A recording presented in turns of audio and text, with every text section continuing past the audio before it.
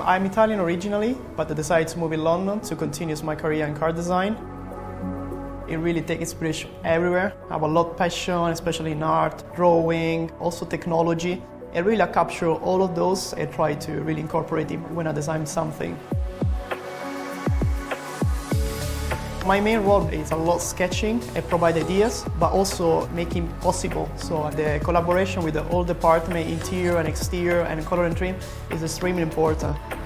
Need to relate with people like a digital team or physical team that basically try to realize my idea from 2D, from the sketch, in a 3D from the computer. And then after this process, also we move into physical model that really we can touch, we can see from the screen to the reality. Nissan really is the pinnacle of EV and electrification for the future of Nissan, which is, for me, was really important to be part of this project. So my favorite part of the interior, for example, is this beautiful surface that's wrapped around all the interior and really create an amazing atmosphere. It's very, very futuristic and it's very dynamic. What we want to create is really uh, bring a new value from the customer and create something that probably we never done before. When I will see the car in the future, it's going to be extremely exciting to share to someone. They say, I was working in that car. So that is going to be a very powerful emotion.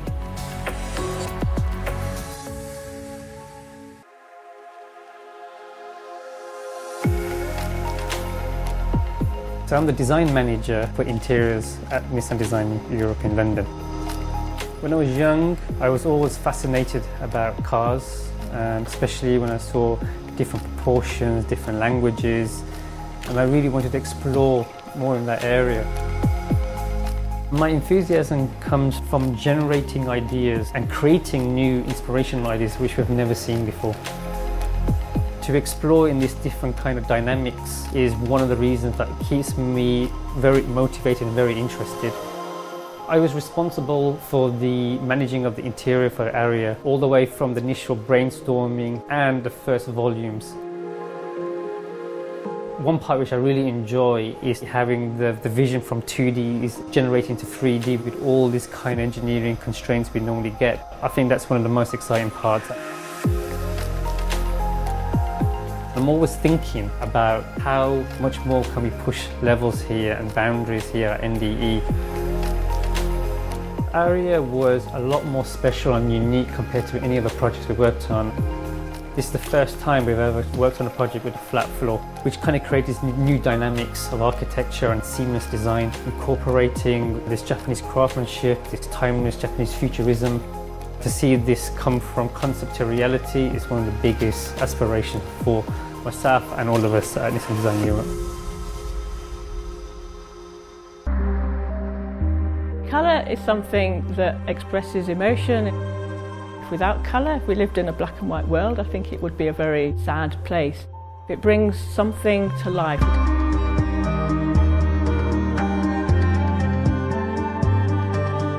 I've been at NDE now for 26 years. I came to the London studio when it opened. I think what attracts me to this job is that there are no typical days. Every day is really quite different. On a daily basis, I'm working with all of the teams within NDE, whether that's product planning or marketing or with our colleagues in Japan. It's a real global effort from colour design point of view. Working on Nissan Ariya, one of the biggest challenges was the choice of materials as we step into a new era. We have to be very mindful of how we interact technology with material. Japanese technology in particular was really part of the design language of Ariya. Think colour in automotive design is a way of giving the brand some identity. It's a tool to express what Nissan is. Now every customer is noticing the colour and materials that are used, the strong role colour does play. That's grown enormously since I've been part of this industry.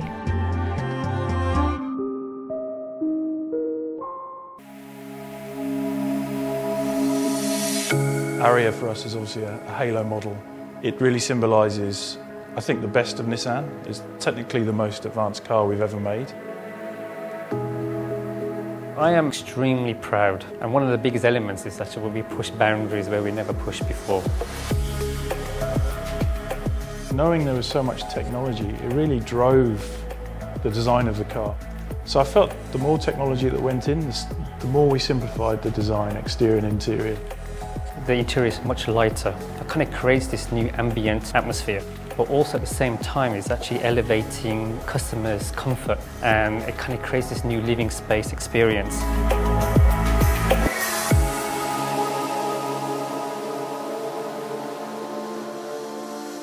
You know, when we visit Japan and you go to Tokyo, you have this kind of cyber world with all the lights and illuminations.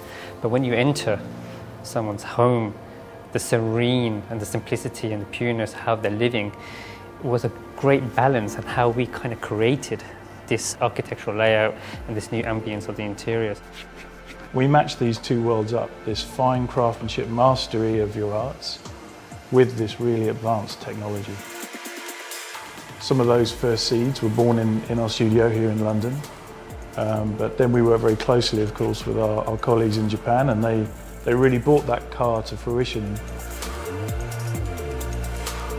I feel that London is, is so international. Our team is 18 nationalities. That's a start, gives us a very wide view on our projects.